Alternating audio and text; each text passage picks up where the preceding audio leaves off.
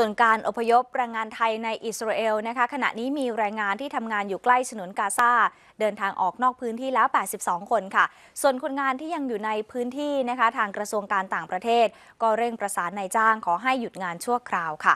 สถานเอกอัครราชทูตไทย ณ กรุงเทวาวิฟ ประเทศอิสราเอล แจ้งผลการช่วยเหลือเคลื่อนย้ายแรงงานไทยที่ทำงานในนิคมเกษตรกรรม ที่อยู่ติดกับฉนวนกาซารวม 17 แห่งว่า ขณะนี้มีแรงงานไทยย้ายออกแล้ว 82 คน อีก 13 คนอยู่ระหว่างรอเคลื่อนย้าย และมี 21 คน เดิมขอย้ายแต่ว่าเปลี่ยนใจอยู่ต่อ